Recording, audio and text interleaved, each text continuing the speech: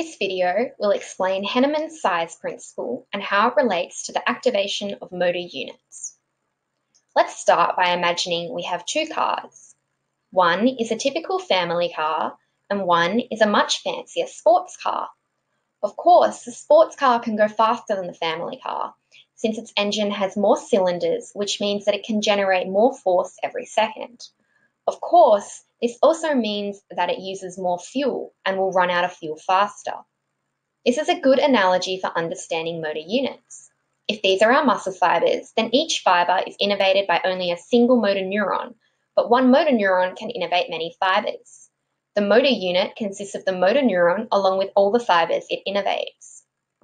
There are three types of motor units. Slow, which is like our family car, fast fatigable, which is like the fancy sports car. And if there are a model somewhere in between, then that would be our fast fatigue resistant motor unit.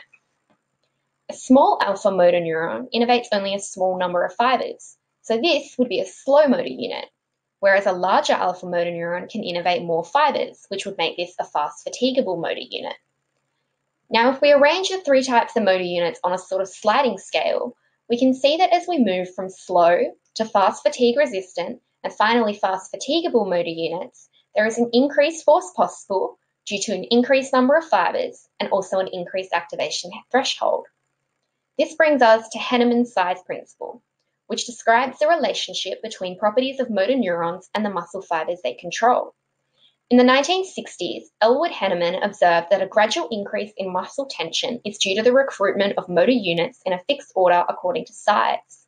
Our slow motor units are activated first, then as synaptic activity increases, fast fatigue resistant motor units are recruited, and finally fast fatigable motor units.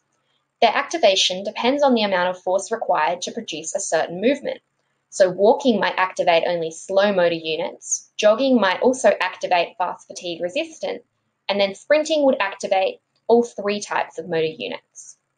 Henneman's size principle is based on Ohm's law, which states that current is equal to voltage over resistance.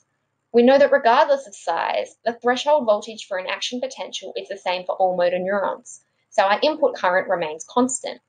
But larger motor neurons have more ion channels, which means they have a lower resistance.